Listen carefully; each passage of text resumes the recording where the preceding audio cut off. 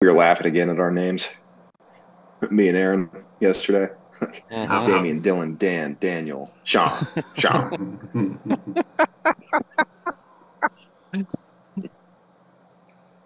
yeah. It sounds like uh I don't know. Nothing. I'm not gonna say that. Filter. Okay. Now that we're live, now that we're live, Right. There's there's four people that, that are going to watch this. It'll be us. Yeah, yeah, it will be it will be us rewatching it. Right. Right. All right. well, let us get going. Continuing on from yesterday, we're justifying even further by faith, not by what we do. Two times through, I think that's probably decent. We might be able to squeeze in a third.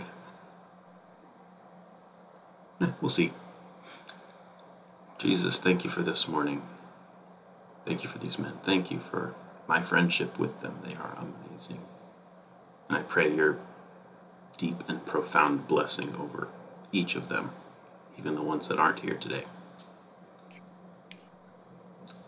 God, thank you that we can gather with you freely to study your word, to listen to your voice. Pray you would speak to us. Thank you, Jesus. Pray this in your name. Amen.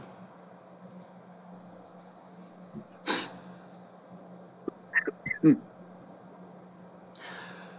All right. Therefore, since we have been justified through faith, we have peace with God through our Lord Jesus Christ, through whom we have gained access by faith into this grace in which we now stand. And we rejoice in the hope of the glory of God. Not only so, but we also rejoice in our sufferings because we know that suffering produces perseverance. Perseverance, character, and character, hope. And hope does not disappoint us because hope has poured out his love into our hearts by the Holy Spirit, whom he has given us. You see, at just the right time, when we were still powerless, Christ died for the ungodly. Very rarely will anyone die for a righteous man, though for a good man, someone might possibly dare to die. Good morning, Sean. Good to see you.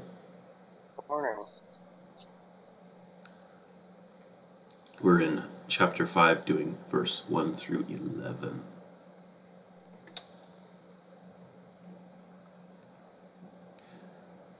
But God demonstrates his own love for us in this while we were sinners, Christ died for us. Since we have now been justified by his blood, how much more shall we be saved from God's wrath through him? For if we if when we were God's enemies we were reconciled to him through the death of his son, how much more having been reconciled shall we be saved through his life? Not only is this so, but we also rejoice in God through our Lord Jesus Christ, through whom we have now received reconciliation.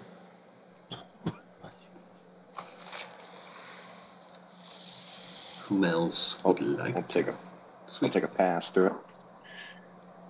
Therefore, since we are justified by faith, we have peace with God through our Lord Jesus Christ. Through him, we have obtained access to his grace in which we stand. And we rejoice in our hope in sharing the glory of God. More than that, we, we rejoice in our sufferings, knowing that suffering produces endurance, and endurance produces character, and character produces hope.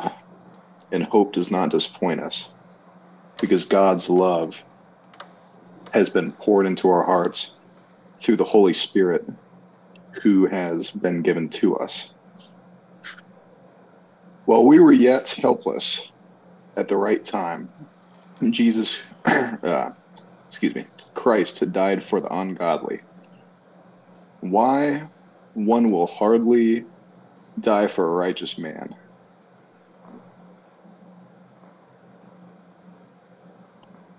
Though perhaps for a good man, one will dare to even die. I'm going to reread that sentence real quick. Um, sorry, let me just start at six. While we were yet helpless at the right time, Christ died for the ungodly. Why?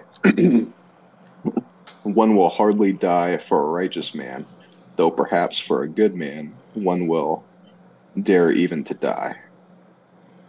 But God shows his love for us in that while we were yet sinners, Christ died for us. Since therefore we are now justified by his blood, much more shall we be saved by him from the wrath of God. For if while we were enemies, we were reconciled to God by the death of his Son, much more now that we are reconciled shall we be saved by his life.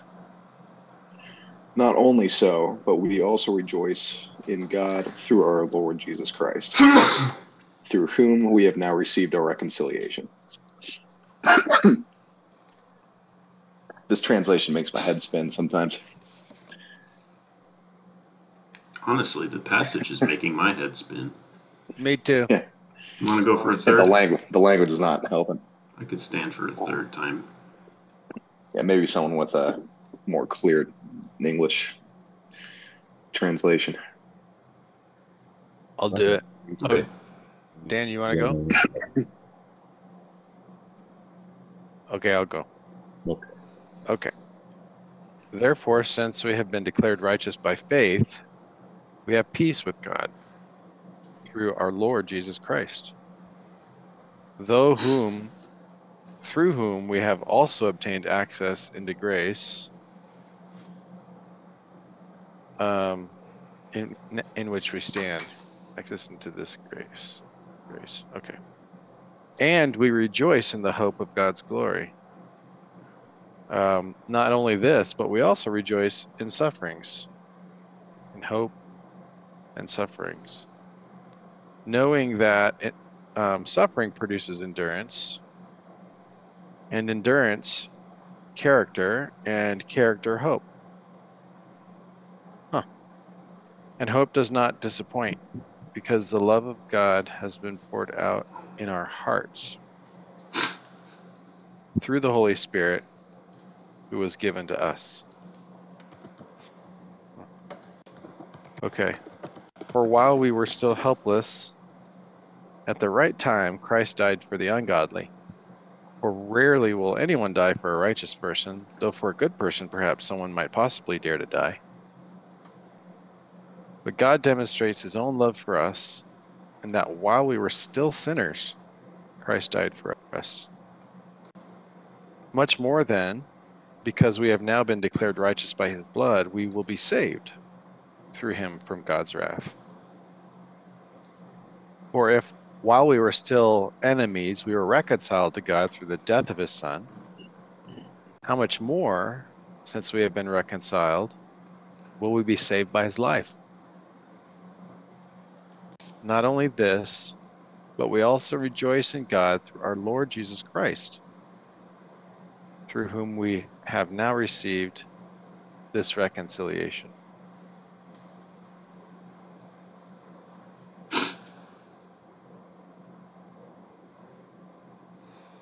Hmm. I'm fascinated by how, if you emphasize different words in one hmm. verse, how it means different things. Yeah. I've heard that is a really cool technique if you take exactly one verse and go through every single word. Whoa. Whoa. Right. Whoa. totally. That's really interesting.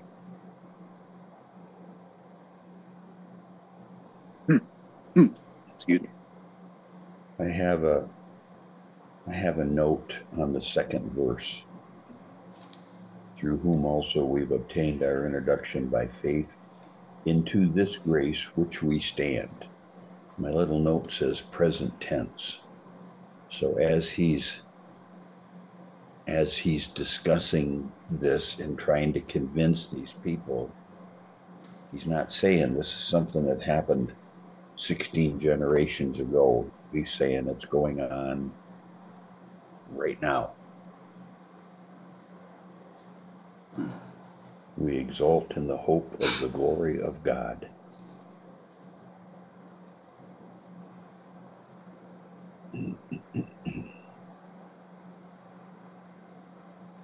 The hope of God's glory. That's what mine says. We rejoice in the hope. So we stand in this grace right now, and we rejoice in the hope of God's glory. What does the hope of God's glory mean? Would it not mean eternal salvation, eternal life? Maybe. Approval, if this book has anything to say about it. The hope of God's glory. The hope of being approved by Him, of hearing, Well done, my good and faithful mm, servant. Yeah. Yep. God's glory. Really? That's an interesting tie. Means being approved by him.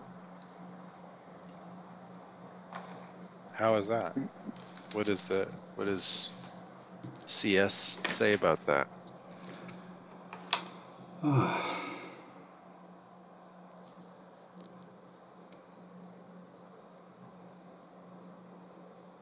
Let me think. Um, I've read that. There's another line in here that I wanted to touch on.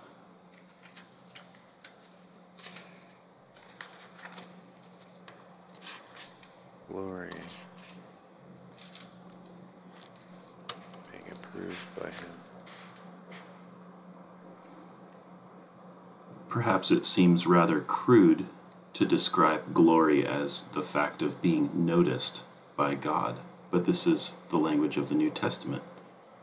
Paul promises to those who love God not only, not as we should expect, that they will know Him, um, but that they will be known by Him. This is 1 Corinthians 8 3.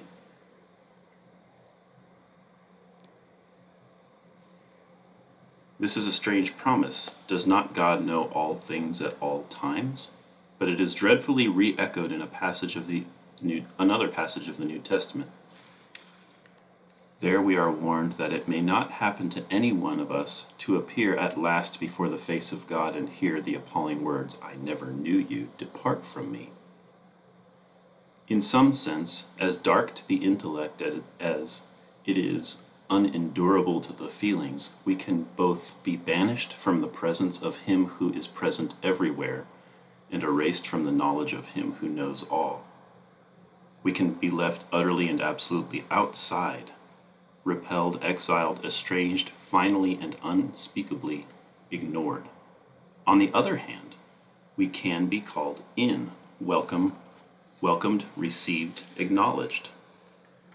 We walk every day on the razor's edge between those two incredible possibilities. Apparently, then, our lifelong nostalgia, our longing to be reunited with something in the universe from which we now feel cut off, to be on the inside of some door which we have always seen from the outside, is no mere neurotic fantasy, fancy, but the truest index of our real situation and to be at last summoned inside would be both glory and honor beyond all our merits, and also the healing of that old ache. Well stated. And where was that from? The Weight of Glory, C.S. Lewis. Hmm. So the hope of glory is being hope of God's glory is being known by him, noticed, acknowledged. And if we are known and acknowledged, he would never say, Away from me, I never knew you at the pearly gates. Mm-hmm.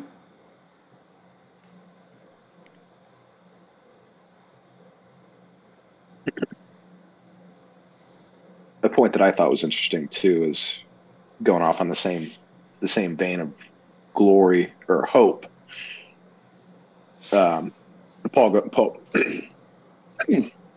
wow, excuse me.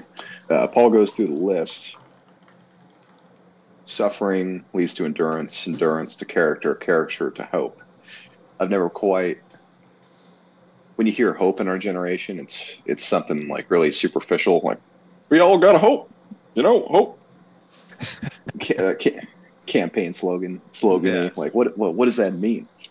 I've never I've never heard like hope derived from character, or something that's you know we need to like hit ourselves against the world to develop for real sense of hope. I'm gonna I'm gonna think about that a lot.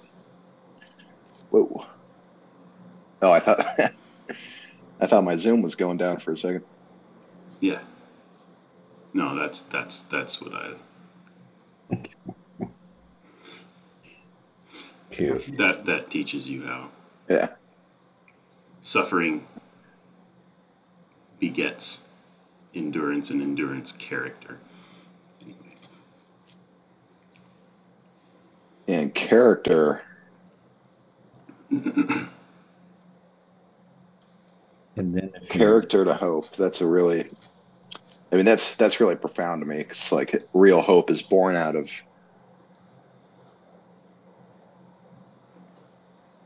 justified suffering. What's what does character mean in this context? What's that word?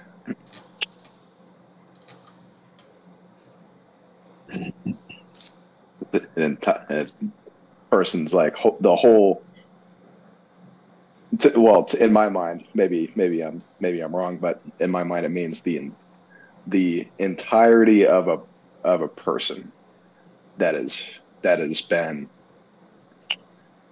um, effective through life and lived a good, decent life up to that point, if that makes sense. And it's yeah. kind of person that encounters situations and responds correctly. that has been born in the fire, the fires of life, their character. What is that?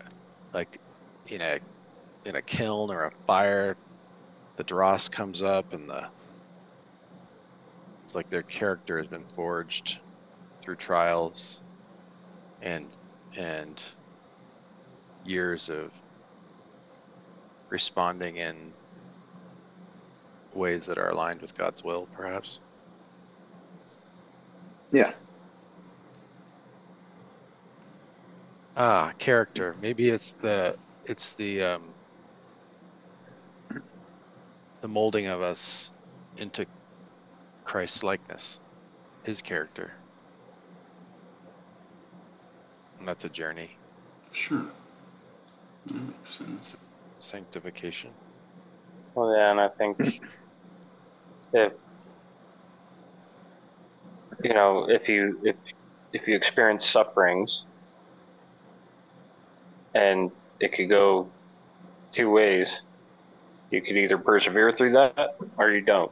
And then if you persevere, that creates a certain kind of character, right? And to have that certain kind of character to persevere through suffering that kind of requires a hope that he's talking about earlier of God's glory of, of being known by God and, and getting getting to that other side of the razor razor's edge right? And then um, and then when he says that hope does not disappoint us. Because to have that hope, you must realize the love that God has given us and shown us through His Holy Spirit. Say that last part again. So, the hope, because this caught my attention, because he, he goes through, you know, perseverance, character, and hope, and hope doesn't disappoint. You know, it can't disappoint us. You know, all those other, and I kind of read it as all those other things could disappoint us. You know, somebody's character, somebody's level of perseverance, somebody's, you know, suffering or our amount of suffering. You know, those those things can disappoint us, but if we get all the way down to that last bit of hope, it won't disappoint us because it's it's God. We we can only have that hope if we know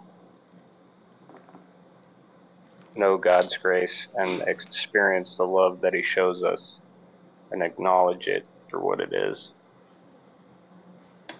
So the hope. So go ahead. Oh, you you first, Edgar. I was just gonna connect that to. So we go back to the hope of God's glory. He's saying that rejoice in the hope, but also rejoice in the suffering because it ultimately leads to hope. Mhm. And that the hope of God's glory is really the the revelation, the comprehension in our minds, and the surrender to the fact that we're accepted and loved by God. Is that right? That's what the hope is. The hope of God's glory, talked about earlier. Accepted. Yeah, and I think I think it requires faith too, because faith faith is required for the grace that God gives us too. And that's ultimately what we're hoping for. Is is grace enough and and the ability to know God and be known by Him. Before I the gift. Go ahead. yeah, before I realized that it was biblical, I was going to push back on that a little bit and be like, what about hmm. dashing one's hopes against the rocks of disappointment? But then I realized this is hope in the rock, our God. This is not hope in other people or other circumstances or things like that. And that's human nature, even if you get your hope bashed against the rocks, that you stand back up, dust yourself off, and hope more. Yeah.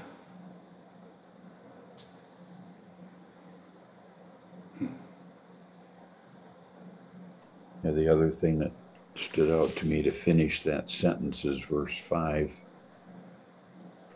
And hope does not disappoint because the love of God has been poured out within our hearts through the Holy Spirit who was given us.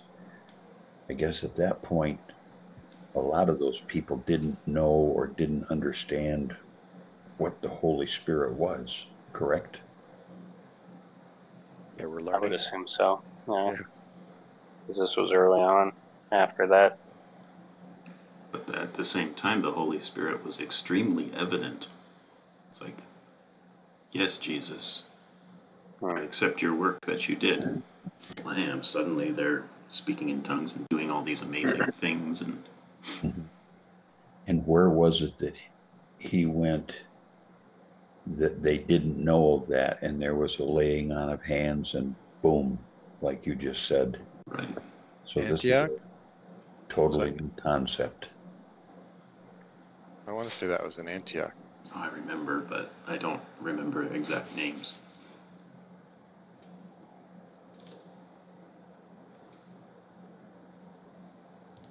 Way back.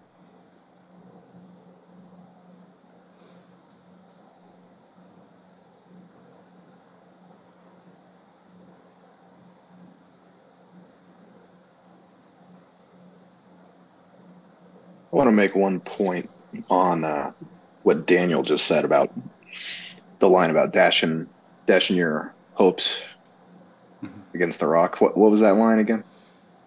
Oh, it was just the, this this verse. I was going to push back on it before I realized it was a biblical concept. Was that we always put, or we always find that, or sometimes we find that our hopes are dashed against rocks before we realize that The one thing we can put our hope in is the rock.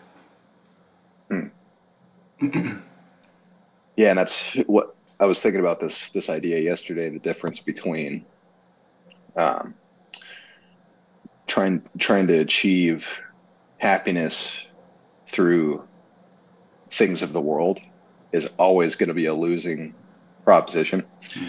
And I was listening to this interview, and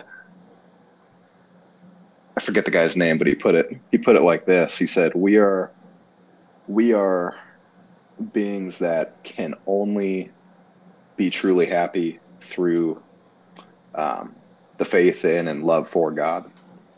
And if we tr- if we try to if we try to achieve happiness through anything else in the world, um, we're gonna we're gonna need more of it. There's an escalation there. You think of alcoholism. You, know, you have a couple beers, oh, I feel good. The next day, one more beer, and then it just escalates into alcohol. Doesn't have to be alcohol. It could be food, gluttony. It can be um, the sin of sloth, like just being being lazy and just watching TV. You know, it could be any number of things, but the common category is things of the world and things of God. And he, he likened it to like if you, if you have a computer and you the only way to make it work is to plug it into the wall, but you but you try to plug it into a potato or an apple or th- like anything you anything except for the wall, it's not going to work, and then we wonder why we're not happy. I just I thought that was I thought that was a, f- a funny and true analogy. Sure. Pl- plugging, plugging it. Okay, you said plugging a potato into a wall. No, no, if you have a computer, Oh. and you're trying to and you're trying to turn the computer on, like the computer is you. You're Okay. like you're trying to be happy, you're trying to make this computer work. There's only one way to make the computer work, and that's to plug it into Oh, into a electrical socket. yeah. Trying to plug it into anything except for an electrical socket, you now see how how crazy and stupid that is. But Right. that's how that's how human beings work too. So like you that- plug you plug it into the potato and then you're disappointed. You're like, "What the Right. heck? I thought this was gonna make me work."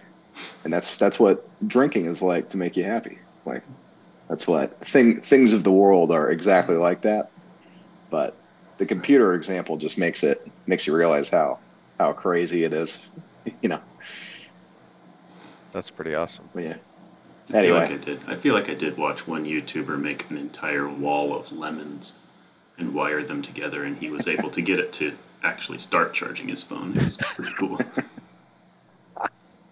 Get a life. get a oh, he, life oh, he has a life. He, that's his life is making crazy YouTube videos of doing crazy experiments like that. So what you're saying is, funny. is if we eat enough French fries, we'll actually be happy. I think that's partially true for me. Sorry, Lord. I do like French fries. but uh yeah i mean and and yeah going back to the going back to the hope thing character produces hope hope uh, what makes sense to me is hope is the like true hope in god is is what animates someone with good character. Mm, because it, it starts with suffering. It's like well you need you need a why before you can really have solid motivation to like navigate life sufferings. It, it really helps to have a nice solid reason. Um, and I, th- I think once once you get to, to the to the pinnacle like someone of good moral character the base the base of that their why is properly placed hope in God, and that's that's what it's the roadmap of someone with good character, and that's that's what motivates someone with good character. If that, hopefully, that makes sense.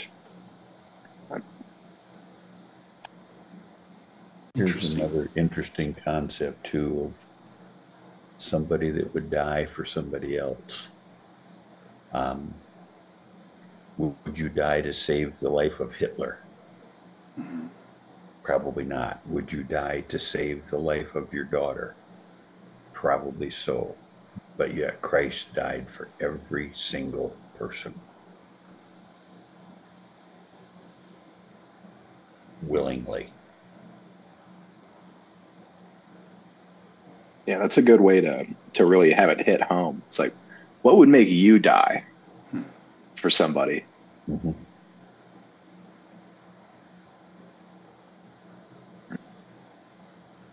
I was a little bit confused by, I think it was verse 7, um, where he says, Not many people would die for a righteous man, but for a good man, maybe. I'm like, uh, Mhm. What? I don't Yeah. understand this. True. That surprised me too. That one got me too. Yeah.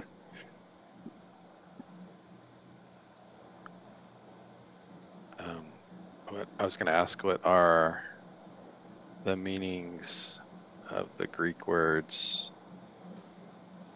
righteous and good in Romans 5? What's the verse? 7, maybe? I'm unable to check right now. 7. Yeah, 7.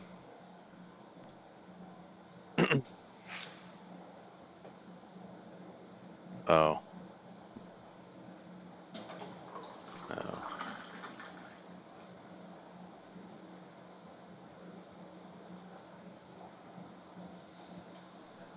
I have my chat GPT in the wrong setting.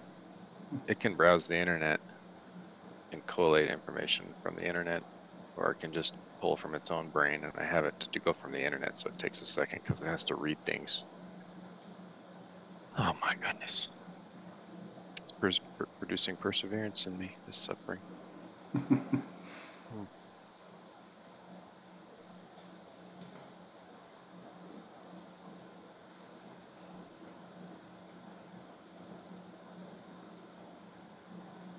Maybe. Maybe it's no one would die for a righteous man because they already realize he's already been died for.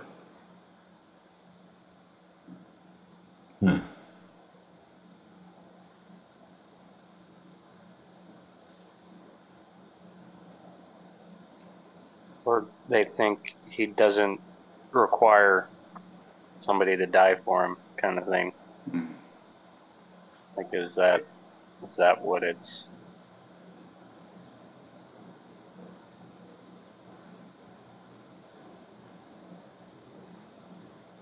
Yeah, In my so- mind, righteous and good are the same, like interchangeable almost. Right. Righteous. Righteous means something in the book of Romans. Um, it's early on.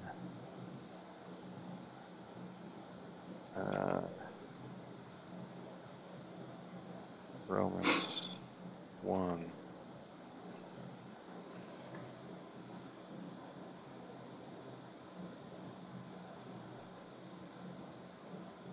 Looking at my notes. Don't you all just love to stare at his forehead while he's pondering great thoughts?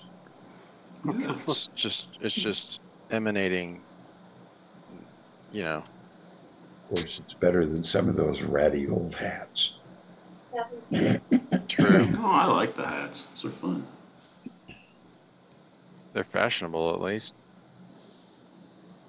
I can't find it. Um okay but look what is let's see chat gpt says righteous dik dikao dikao derives from the word dikeos which signifies being correct righteous or by implication innocent used to describe someone who is just and lawful and in right standing especially in a more moral and ethical sense. And good, so someone who's innocent and justified, essentially. And then a uh, good is agathao, it's the original Greek, while the um, is used to describe intrinsic goodness, benevolence, or a kind-hearted disposition. So there's someone who's righteous and justified and innocent. And then there's someone who is good, which means that they have an intris- intrinsic goodness to them. Daniel, you may hit it when you said the righteous, he knows where he's going and somebody doesn't have to die for him. Right. Yeah, I found I found one one explanation of it. This is on BibleStudyTools.com, but it says um, there is a righteous man that is good, and there is a righteous man that is not good. But he that is good for heaven and the creatures, i.e., for God and men, that this is a righteous good man. But he that is good to God and evil to men, this is a righteous man that is not good. Mm-hmm. Is that even So- possible? yeah, that's where. So maybe that's that's where they're trying to say like, okay, the righteous man is the good, the good man to both God and people, and then the good man is only good to God or and not people or something something kind of like that. Okay, so he's like he's he's grouping classifying people into three groups. And there's there's the, the one who is good to God and good to people. And he's saying that person someone may die for that person. And then there's the guy who's good to God but not good to people, would be like a Pharisee, a bad Pharisee, right? And he's saying, uh, probably most people wouldn't die for that person. And then there's the person who is not good to God and not good to people, the ungodly. It's the first he mentions. And Christ actually died for that person, the worst of all three. Right. We definitely wouldn't die for a sinner. Yeah. Is what he's saying. It's like Mhm. that's a scale of Right. yeah. Lowest to highest.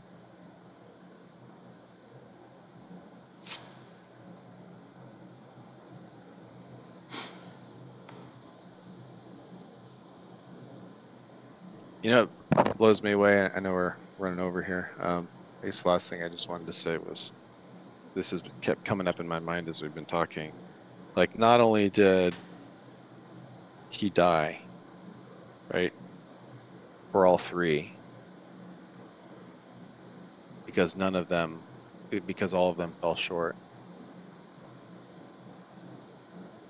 But he took the the brunt of God's wrath. Hmm. For everyone upon himself. Like one thing to die, and then it's another thing to die uh, in the terrible um,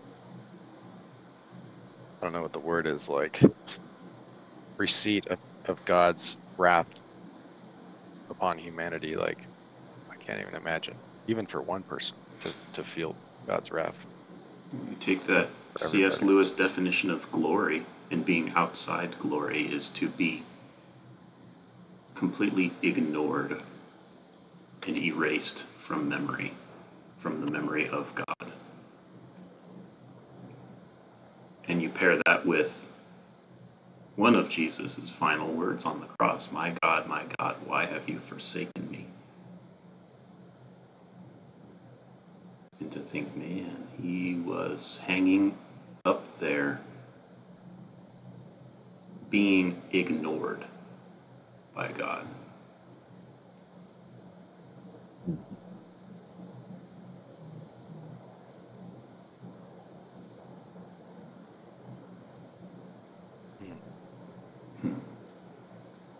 Pretty powerful.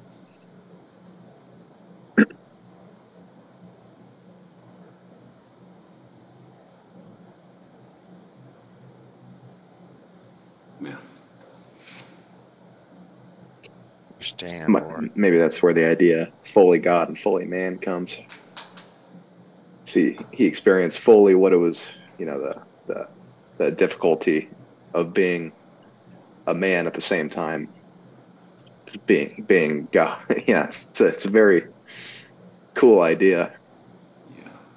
and to think that like he, I think I have to think about this all the time, just for my own, just for my own sake and my own like doubts. Um, Peter, the top apostle, denied Christ in the final when it mattered the most. and not only once, but three times. Like really when when the Bible wants to drive something home, it always happens in threes. Um,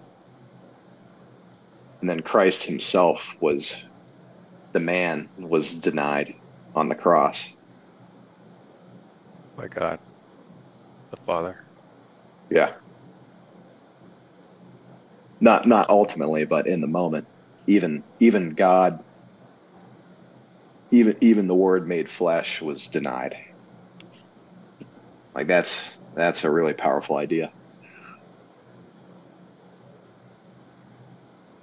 But I think about that when I when I think of oh my my own doubts and why doesn't you know when, whenever whenever my faith is not super strong I think I think about that.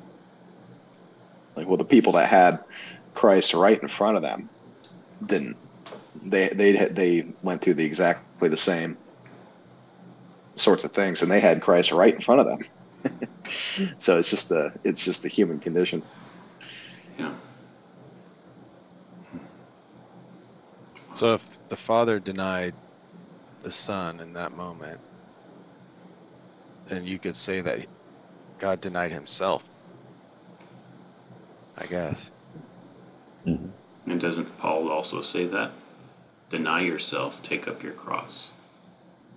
Or was that Jesus that said that? I think that was Jesus That sounds like Jesus. Jesus, yeah.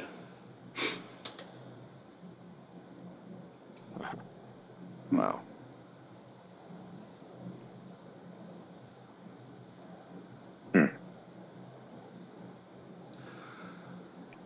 Well, I gotta get going, guys. Yeah, So. Yeah, so do 16 I. after. John, All right. it's good to have you back among us.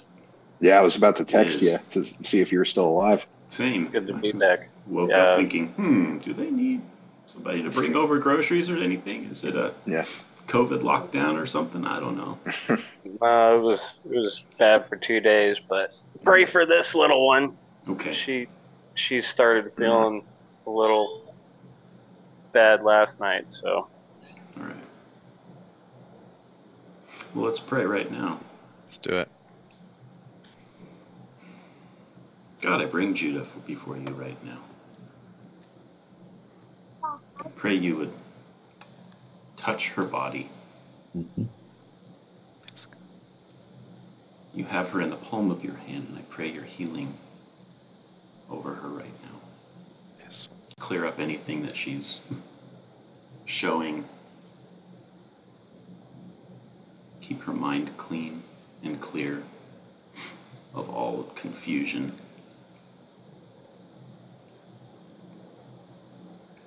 God, I pray you just heal her right now. Thank you, Jesus. Amen. Amen. All right, guys. We'll see you later. Have a great day, everybody. Have a good one. love you guys. Good. see you guys Take care.